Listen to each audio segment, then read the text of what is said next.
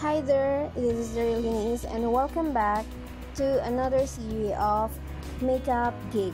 Okay, so in this video, gagawin ko ang makeup ng isa sa mga bridesmaid ng bride. And, ayan, so nilagpasan ko na yung pag skincare routine. Hindi ko na siya nilagay sa video.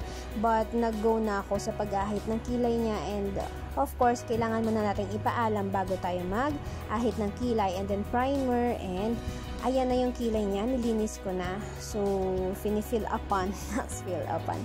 And also, um, naglalagay tayo ng color corrector kasi madaming red spots si ma'am And then, ayan, um, nil- nililinis ko na yung kilay niya gamit ang, I think, foundation ba to or concealer? Or concealer, concealer. Maybelline concealer. I'm using Maybelline concealer para linisin yung eyebrows niya. And also, nilagyan ko na din yung sa may eyes niya. And then, of course, blend, blend, blend. And then, I'm putting um, medyo orangey na eyeshadow. Maputi si ma'am. And nakita niyo naman yung robe nila. So, ganyan po yung tema. Kaya medyo, hindi siya medyo, pero ibabagay natin yung eyeshadow niya sa theme na meron sila or sa damit na susuotin nila. So, maputi si ma'am, kaya um, wag masyadong dark kasi hindi maganda tignan kapag maputi tapos sobrang dark na nilalagay natin sa mukha nila. Mas maganda yung light lang since bridesmaid lang naman din si ma'am dyan. So, baka masapawan si bride kaya wag nating kakapalan or bobonggahan. So, naglagay din ako ng shimmer para at least ma-highlight yung eyes niya. And ang ganda kasi tignan kapag may shimmer rin. Like, buhay na buhay yung eyes. And also, the liquid eyeliner using yung, yung Careline eyeliner. So, ginagamit ko yun. And then, naglagay na rin ako ng falsies. So, ayan. Simple falsies lang din ang gamitin natin. Ayan, for the second one is Okay, ayan. So, next is, naglalagay ulit ako ng color corrector. And actually, lip, lipstick lang na red yung ginagamit ko. Misha lipstick. Or red ba yan? Or basta, hindi siya masyadong red. Para takpan yung under eyes niya, yung eye bags na dark. Hindi naman masyadong dark, pero ang ganda kasi mag-concealer kapag tinakpan mo na ng color corrector. And then, of course, ayan, nag-foundation na ako I mean, um, naglagay na ako ng foundation sa kanya, sa lahat ng parte ng mukha niya. Una kong nilagyan ay yung under, uh, yung eye bags niya. And then also, kinalat ko na. And then, that's it.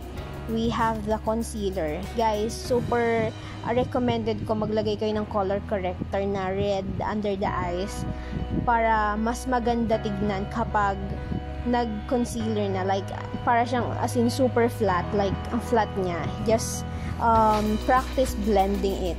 And then also, the chin, the nose, and the the forehead, nilagyan ko siya ng concealer.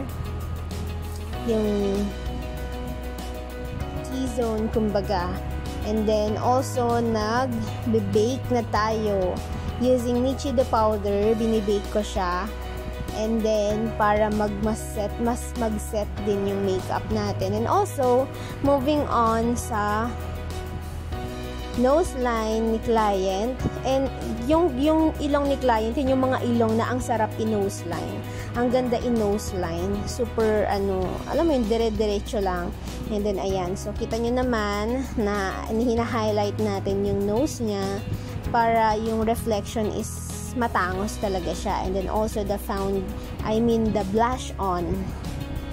Ayan, so blush on, blush on tayo. And then light lang din kasi maputi si ma'am. And then nag, nag, nag-touch ako ng konting contour. And then also the baking powder. baking powder talaga. So, ayan, powder from Nichido. And also, nag-move na tayo sa lipstick. So, super liit super small ng labi ni, ni client. And, ayan.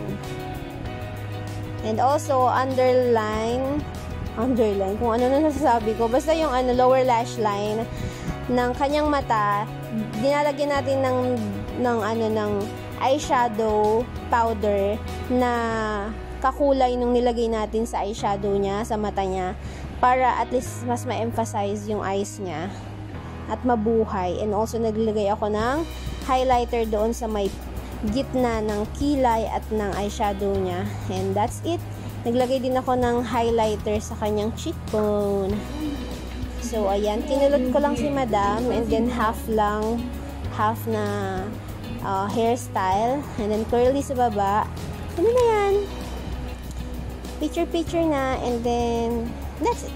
Thank you guys for watching. And, please do subscribe on my channel. Thank you so much for making time sa pag-visit sa timeline ko and hope you see I hope to see you again on my uh, other videos to be uploaded here in my YouTube channel. Thank you!